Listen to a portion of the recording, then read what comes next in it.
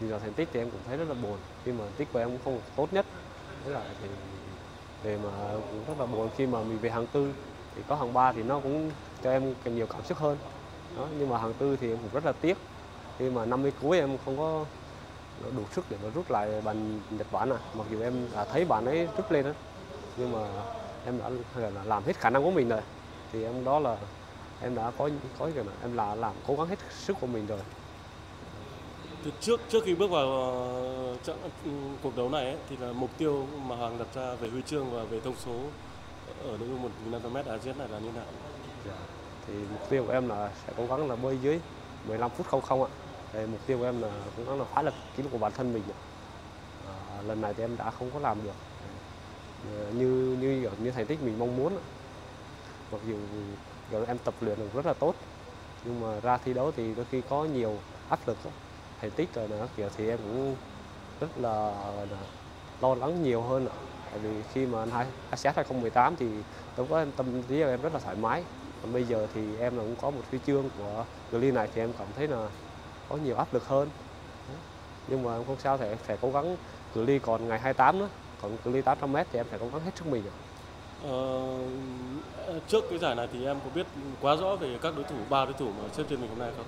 Dạ, thì trước trước giải em đã có đối thủ em biết em biết rất là nhiều tại vì em có gọi là xem thông số của các bạn ấy là thi giải vô địch quốc gia thì giải vô địch quốc gia của bạn ấy là toàn vận động viên toàn bơi dưới 15 phút 55 thôi 10 14 phút toàn à, thành tích của các bạn ấy là 14 phút 55 ạ. chứ không ai là 15 phút 00 tại vì 15 phút 00 ra các bạn ấy cũng rất rất là gọi là tâm lý à, bạn ấy thì vượt qua em thì cũng thấy rất là buồn khi mà để bạn Nhật Bản vượt qua em một tích tắc ạ. Dạ. Em có bất ngờ với cái bạn Nhật Bản không? Nhất là chiến thuật của bạn ở trong những mét cuối cùng. Dạ, thì bạn ấy rất là khỏe à, rất là bất ngờ khi mà bạn ấy có thể 50 cuối để giật khỏe đến như vậy ạ Em đã gặp bạn Nhật Bản ở bao giờ chưa? dạ em em gặp từ 2018 ạ là em đối đầu của là ASEAN lần trước ạ là em có đối đầu với bạn ấy rồi Bạn ấy đứng thứ mấy? dạ lần lần tới là bạn ấy đứng thứ tư ạ sắp tới còn ngày 28 còn 800 m thì bắt đầu em cũng thoải mái rồi không còn gì gọi là để mất nữa nên em phải cố gắng hết sức mình Có vẻ hôm nay em xuất phát chậm và có vẻ hơi choáng với vận động viên Trung Quốc nhỉ? Dạ, Em đúng nghĩ gì về vận động Trung Quốc? Nhà vận động viên Trung Quốc này thì mới nổi, mới nổi năm năm nay ạ. À, vào vào hồi tháng 5 tháng 5 20- 2023 này thì bạn ấy là bơi được 14 phút 4 45 rồi ạ. Rất thành tích rất là tốt ạ. Cũng thi đấu mà cũng không biết được thành tích của mình như như thế nào thì em phải cố gắng hết sức mình thôi. Nhưng mà ra thi đấu thì bạn ấy cũng rất bơi rất là tốt ạ.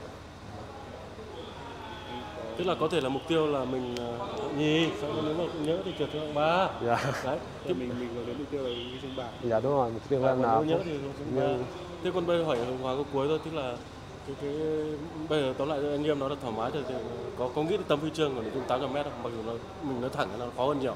Dạ. Thì em phải cố gắng quyết tâm hết sức mình ạ. Tại vì đó cự ly cuối cùng của em. Em phải cố gắng làm sao mà mình có thể đạt được thứ hạng cao nhất trong ba hàng đầu ạ. Mục tiêu như nào? Mục tiêu về thông số là như nào? Dạ, mục tiêu của em là cố gắng được bơi 7 phút 50 giây ạ.